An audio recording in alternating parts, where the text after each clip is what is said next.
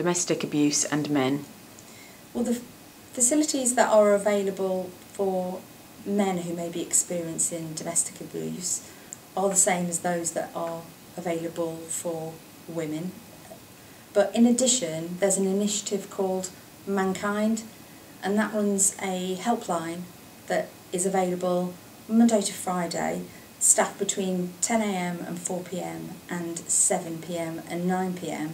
And on Mankind, then there are a range of support services that are specifically targeted for men who are experiencing domestic abuse or people who may have family or friends who are victims of domestic abuse and their phone number is 01823 334 244.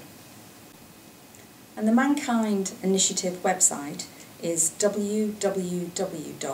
www.mankind.org.uk and the phone number is 01823 334 244.